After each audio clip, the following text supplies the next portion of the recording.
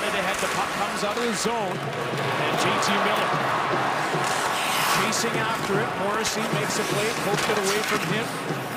Moved it to Vilardi. This pass is going to be cut off. Myers moves in, makes moves. Myers still in. Backhand. He scores!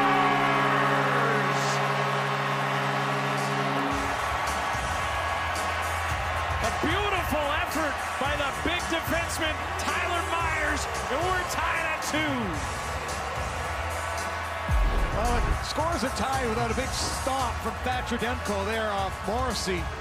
And as the puck is up into the offensive zone, it's a giveaway that Myers steps in front. He's about to pass it. Nope. Gonna pass it. Nope. Gonna shoot it backhand through traffic. Hellebuyck surprised.